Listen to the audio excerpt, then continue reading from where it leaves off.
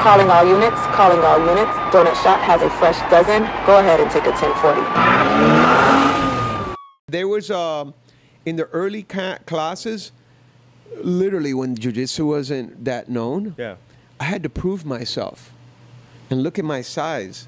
Yes. And when you line up 60 officers, we're talking about, I had to, I, uh, rolling. When I say rolling, I mean physical training. Yeah.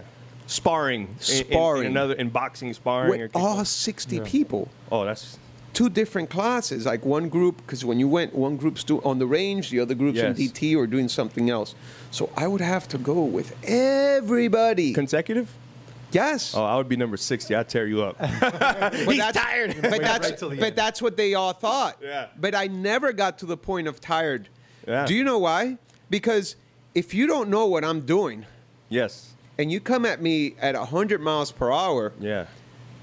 it's only going to take you about 30 seconds before you gas out. I'm not going to try to meet you. That's the, that's the formula that nobody there figured out. Yeah. When I would go with everyone, I would I know that those first 30 seconds, they're sitting there cracking their knuckles, Yeah. preparing them. I got this little man.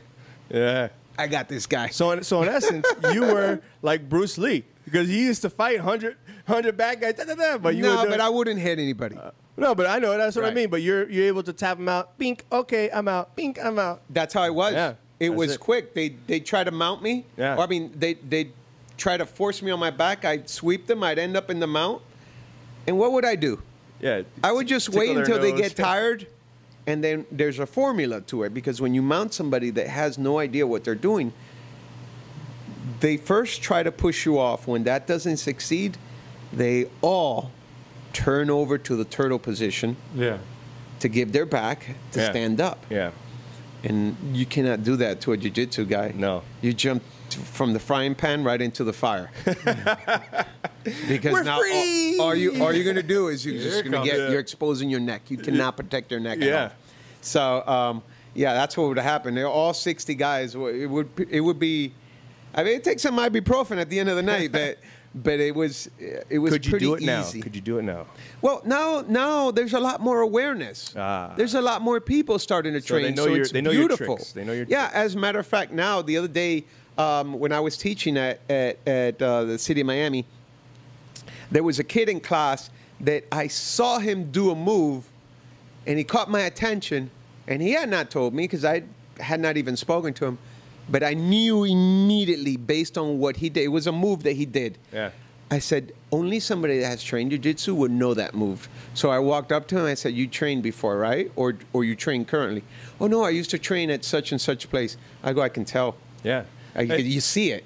These coming through the academy, some of these recruits, they're already they're already trained with some of this stuff. Like you said, Some. some. I'm not saying all.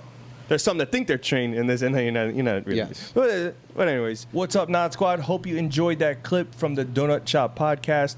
You can head on over to the Donut Shop podcast YouTube channel where we have the entire interview. While you're there, make sure to click subscribe and hit that little notification bell so you can know when we upload. There's going to be tons of new content, a whole bunch of guests. You guys have any suggestions, head on over and hit us up in the comments. All right.